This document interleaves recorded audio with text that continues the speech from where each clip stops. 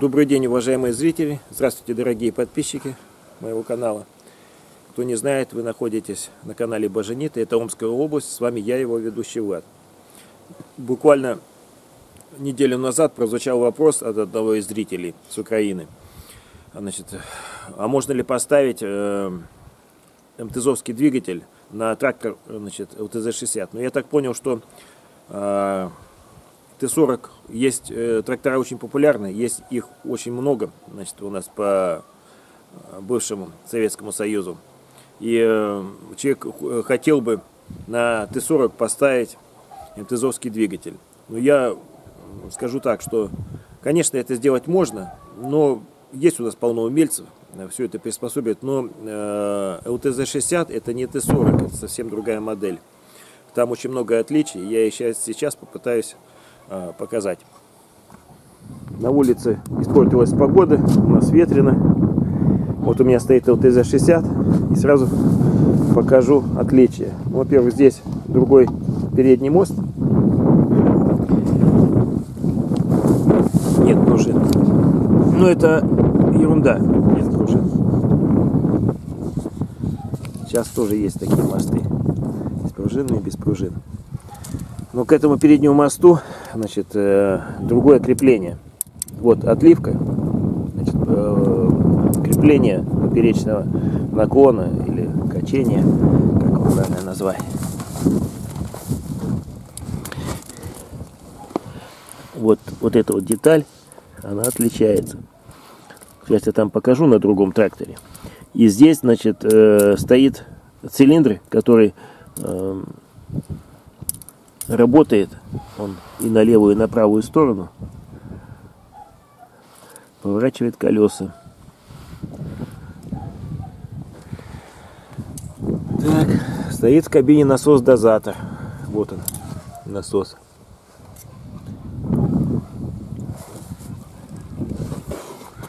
Это одно отличие. Вот видно, да? Так, потом самое главное отличие. Здесь другие лонжероны. Во-первых, вот здесь двигатель, сейчас сразу покажу. Сейчас его приближу. Здесь стоит двигатель дизель D248. Вот его видно здесь.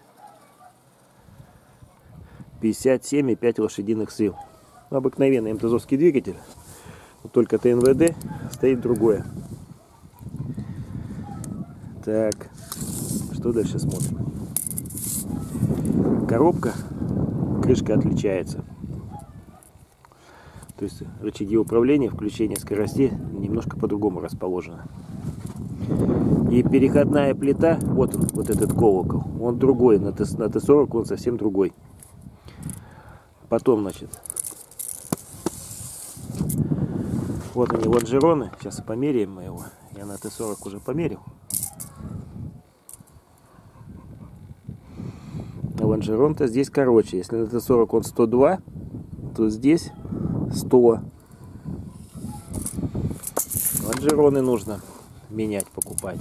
А к этим лонжеронам крепеж сделан. Подвешивается двигатель спереди. И вот одно из больших отличий, это вот эта вот плита, что держится передний мост. Отсюда вот не видно у меня. Но здесь, получается, стоит радиатор. Крепеж под радиатор сделан. Потому что я вот эту плиту уже ломал. Стоял на тракторе Кун. А для этого трактора Кун это очень большая нагрузка. И меня обламывало вот одно из, одно из их ушей. Тоже искал вот эту плиту. Менял, подвешивал. Все это. Вот здесь вот. Конечно, можно приспособить, но придется покупать вот эту плиту. И лонжероны тоже придется покупать. ТНВД другой. Сейчас покажу его марку.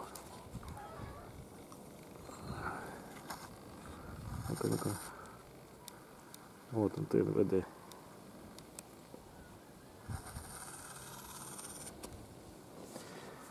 Управление, видите, другое насосом.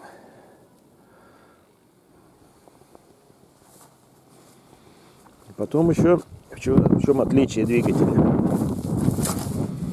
На Т-40 стоит кардан, который приводит в движение передний мост.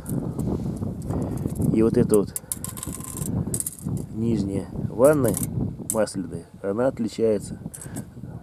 Кстати, у меня было такое, что когда обломилась вот эта плита, значит, встала на перекос вся эта конструкция.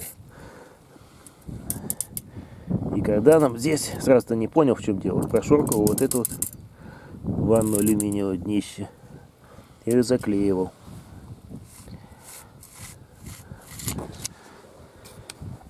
Ну, тут еще много. Я, конечно, не специалист, просто пользуюсь техникой и делюсь своим опытом. Еще тут стоял масляный радиатор перед этим, перед э, радиатором охлаждающей жидкости. Меня сразу через два года масляный радиатор пропал. Это я уже ставил от радиатора от Т-40 и значит, э, уголки мы сами упрямляли. Но работает нормально, хорошо, масло охлаждается даже в жаркую погоду. Ну, у нас такой жары, конечно, нет, как на югах. Но все равно масло охлаждается нормально. Вот я переделал. А вот это гидробак. Потому что здесь все значит, работает на этом, на насосе. Так, насос показать, какой у меня стоит. Вот насос стоит. Распределитель вот в этом месте стоит.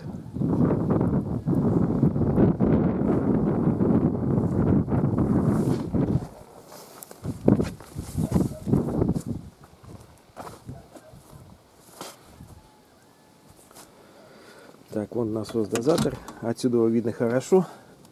А здесь он заделан, так что его не подлезть к нему.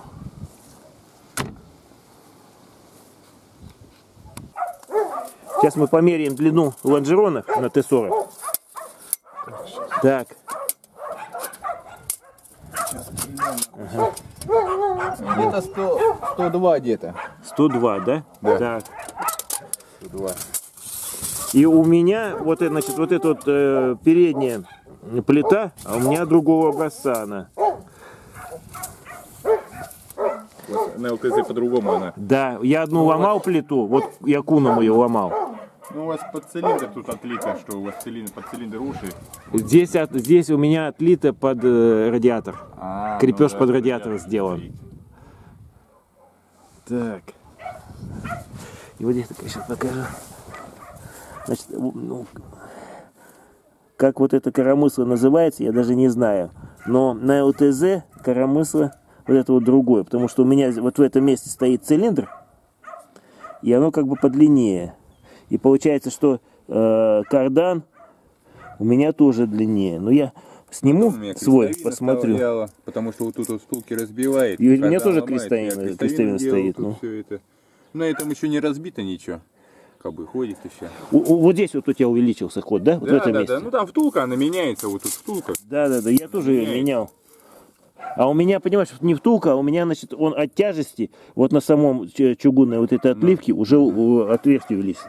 Я подкладываю, э, ну, полушайбу такую, и все равно, значит, не- немножко поездю, и все равно она, по- получается, Ну, при- понятно. проседает. Проседает это вот. Ну, получается, при- придется... Подклон слабоватый подклон у меня. Ну, зато в любой снег грязь. Да, да. Я снегу на нем он не едет, я рулон беру два дорога. И любой снег проезжаю, любой это роет. Ступицы он любил у них обламывать. Вот это я под заказ делал, на танковом заводе мне делали ступицы. Вот эти у меня Ну, как будто по- Кому интересны технические темы, спрашивайте, задавайте вопросы, комментируйте, я поснимаю, покажу. Что я не знаю сам, я съездю значит, к моему соседу, более молодому, более опытному механизатору. Подпишитесь на канал, поставьте лайк или дизлайк. До свидания.